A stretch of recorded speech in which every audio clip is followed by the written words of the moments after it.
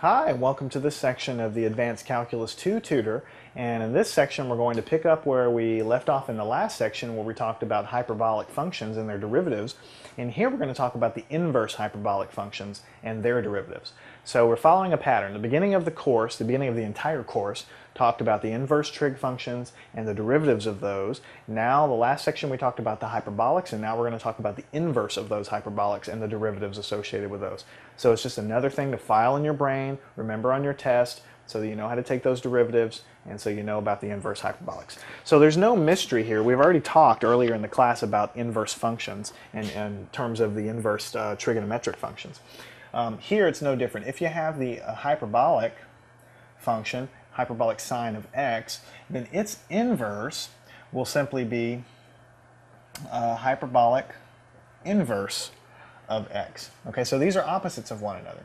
And if you had the cosine hyperbolic of x, its inverse would be the cosine hyperbolic inverse of x. That's what this negative 1 raised to the power here. That's not an exponent. That's not raised to an exponent. That's just the symbology of the, the, uh, the notation that means inverse function. So what does that mean? Okay, what does this inverse thing mean? Just a little review because we covered this quite a bit in the first section we talked about the inverse trig functions. Okay, if you had hyperbolic sine okay, of some number y and that returns some number x, you, put, you plug some number y into here, whatever it is, and you get a number x back, then what it means is that the inverse hyperbolic of x is going to equal y.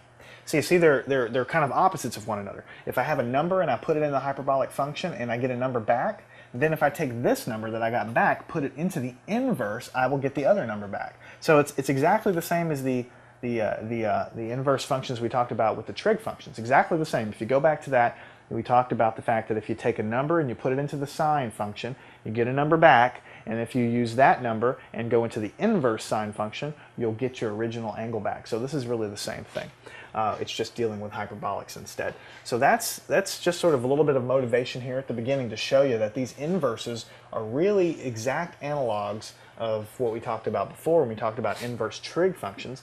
Now what we're going to do is just go ahead and, I'm not going to prove them or derive them, I'm just going to write them down, uh, the derivatives of these inverse hyperbolics, and then we're going to use them to solve some problems. Okay, the derivative of the inverse hyperbolic sine okay, is equal to 1 over square root 1 plus x squared. Okay? The derivative of inverse cosine hyperbolic is 1 over square root x squared minus 1. Okay? So you see there's, there's already some similarity here, but they're not quite the same, obviously. Derivative with respect to x of inverse hyperbolic tangent of x is equal to 1 over 1 minus x squared. And you'll see a little bit of similarity here the derivative with respect to x of, I'm sorry, of the inverse